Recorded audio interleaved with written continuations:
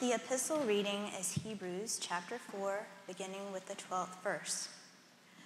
For the word of God is living and active, sharper than any two edged sword, piercing to the division of soul and spirit, of joints and marrow, and discerning the thoughts and intentions of the heart. And before him no creature is hidden, but all are open and laid bare to the eyes of him with whom we have to do. Since then, we have a great high priest who has passed through the heavens, Jesus, the Son of God. Let us hold fast our confession. For we have not a high priest who is unable to sympathize with our weaknesses, but one who in every respect has been tempted as we are, yet without sin. Let us then with confidence draw near to the throne of grace, that we may receive mercy and find grace to help in time of need.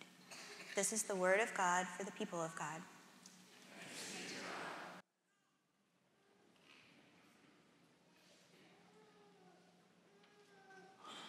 What a lovely, powerful, poignant passage. You could read this uh, every day for the rest of your life, and the benefits to that would be just immeasurable. It has so many fine phrases. I mean, one I hadn't thought about much until this week is it, it speaks of God as the one with whom we have to do. I mean, I love that. God is the one with whom we have to do. You, you cannot think about God. You can pretend there's not a God. You can trivialize God. You can think you're hiding from God. But God is the one with whom we have to do. Nothing is hidden from God. And that's not spoken to scare you, that is to be a great comfort. God knows everything about you. God knows you better than you know your own self, and God loves. God is always with you. God never abandons you. This passage also speaks of God's word being sharper than a two edged sword. That sounds a little dangerous if you're thinking about a sword fight, or three musketeers or something, but the sword we might have in mind would be the loving scalpel of the surgeon. There's something in you that'll be the undoing of you, and God's word removes that so that you can be healed, so that you can be healthy. We all know how much words matter at the end of the day. Someone says, I love you. Someone says, I'm proud of you.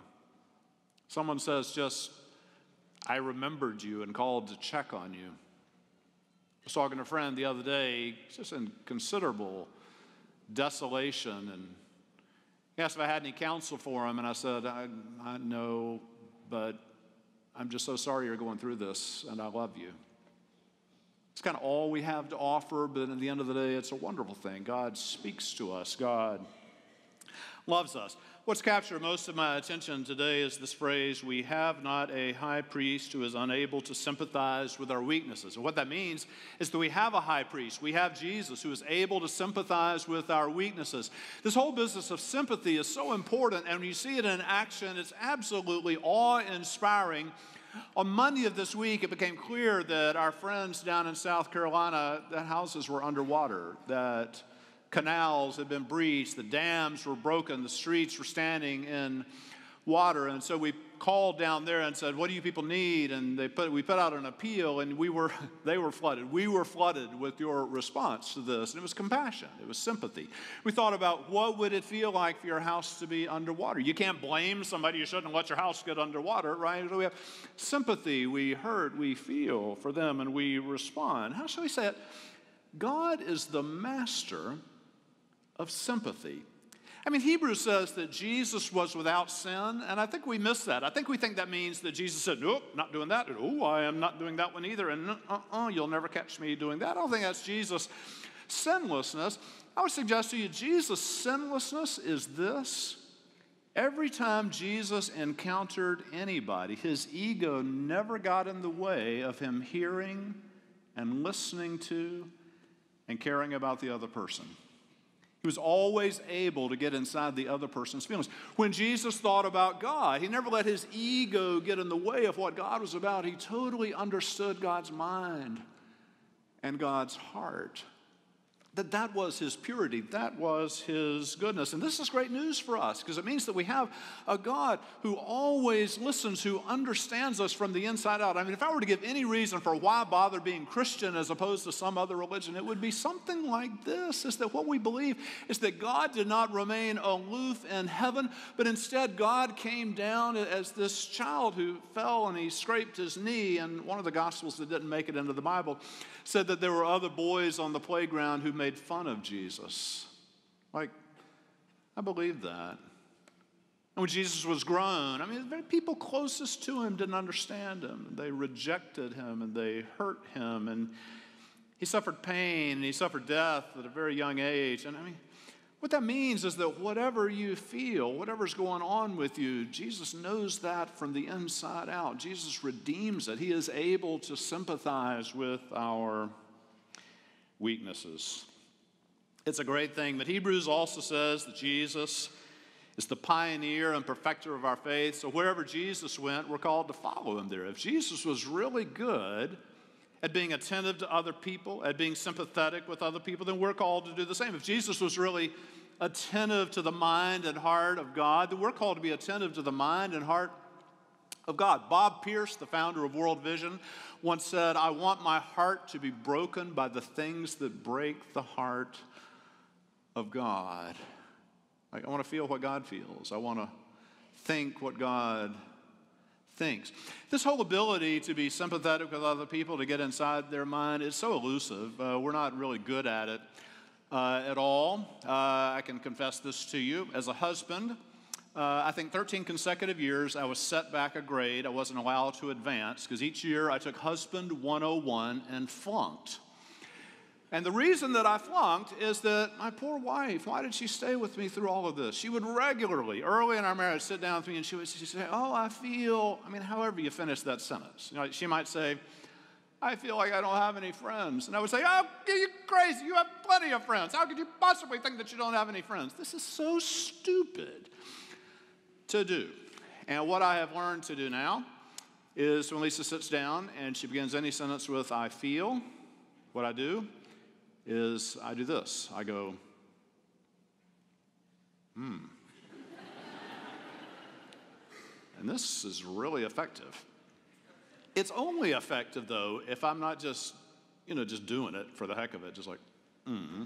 But if I'm actually really listening to her and really feeling what she feels and showing her that like, I care, maybe I feel what she's feeling, uh, we missed the, I'm doing a program in a couple weeks on the will of God. And one of the things that happens with God's will is, you know, something bad happens to someone, they're suffering and death, and we go to that person. We're trying to comfort them, and we inevitably say, I know how you feel. Let us never say, I know how you feel. Like, Maybe your spouse died and you're going to somebody whose spouse died, but you have no clue how they feel because their marriage was different from yours. Their spouse was different from yours. They are different from you.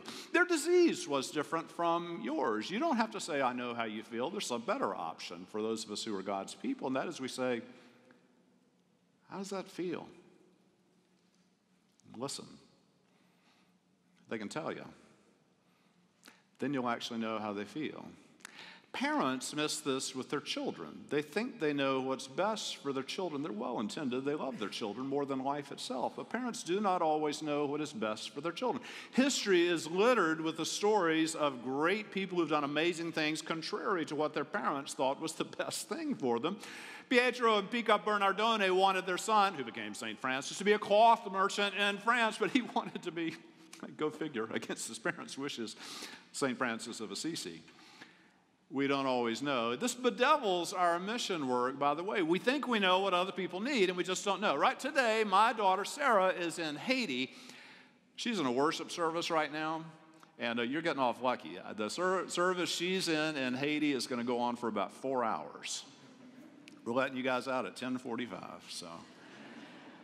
And Haiti, we have a group that's going down to Haiti on Wednesday this week, and Haiti's a really interesting place. Every time there's a hurricane, it sweeps across Haiti and it ruins the crops. They don't have any food. It's a horrible place to live. So difficult, wonderful people there.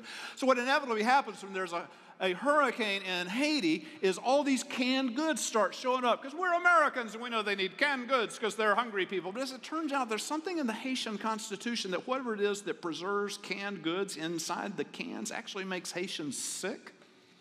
So when they get canned goods, they throw them away. One of the novel things that you can do is you can call somebody in Haiti and say, What do you guys need? And they'll tell you. This happened in Columbia this week. We called down to Columbia and said, What do you guys need? Somebody put out where they don't need water in Columbia. I thought, I'll check this out. I called three clergy that I know in Columbia. They said, We can't get rid of the water quick enough. People are so desperate for it. What's needed? Toys. That's always interesting. At Christmas, we have inevitably people that want to give toys to children, and that's, that's a lovely thing to want to give toys to children. But we actually have poor children that, I mean, a toy is okay, but what they'd really love would be something like, I don't know, new underwear. Like if you've never had new underwear, you've always had hand me down underwear with holes in it. Hey, get some new underwear. You've always got hand me down jackets that somebody like us, like we got rid of an old jacket that was worn out, but maybe you get a new jacket for once. Like that would be an amazing thing. Toxic Charity is all about the rich doing for the poor before listening to the poor. All these issues that we face in society would benefit greatly from us just being the kind of people that Jesus was. Jesus was able to get inside other people's heads and listen to them and understand them and sympathize. I saw an amazing thing in my neighborhood the other day. At least I were out, and some other neighbors were out, and I witnessed a miraculous conversation. I saw two people. One is really against guns and the other is a member of the NRA who owns a lot of guns and thinks they're great. And I watched, this was amazing. They talked to each other, they listened to each other. And at some point in the conversation, I heard each one of them say, You got a good point. It's like the kingdom of God dawned on Richardson Drive before my very eyes same sex marriage. We talk about this, right? The laws change, and churches are trying to figure out what to do, and you have people think, yes, we should marry, yes, and other people think, oh, it's terrible, and these people never talk to each other. They never say, what's your life like? Why? Why do you want to get married in the eyes of God? And the other side never says, well, if you think this is a bad idea, oh, what's that about? Why? What is that for you? How do you feel about that?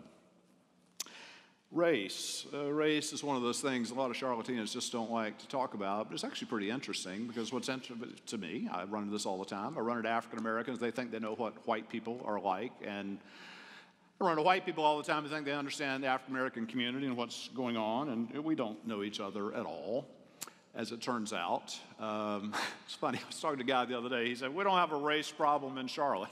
Really? This is so interesting. I'll give you a couple of examples. I have a friend, pastor friend. We text each other every Sunday morning. He's African American. He was speaking at a conference down in Miami recently, and he was checking into the Ritz Carlton. So he was in line at the registration desk, and the guy in front of him is a white guy. Finished registering, and when he turned, he saw my friend, and he said, uh, "Hey, take my luggage up to 304."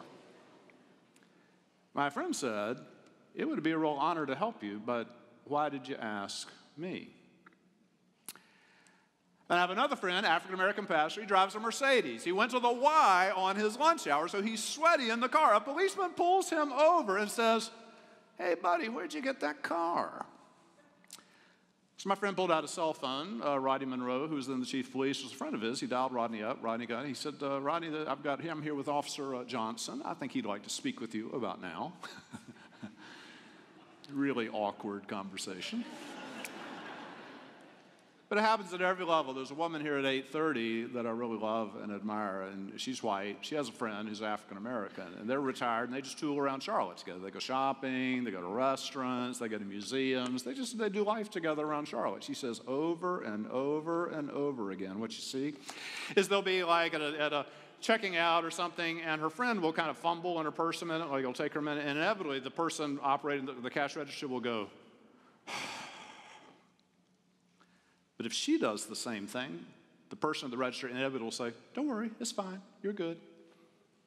He said it happens all the time. I grew up in a poor family.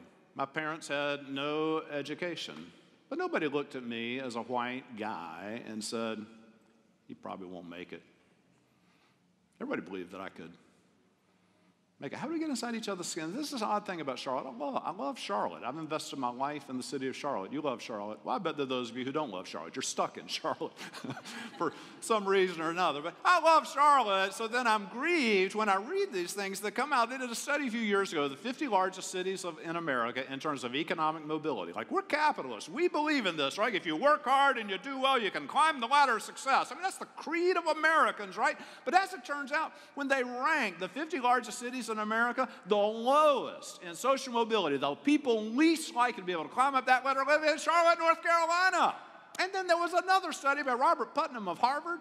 They studied, this was just 40 cities, in terms of social trust among the races of Charlotte. Okay, we did a little better here. We came in 39th out of 40.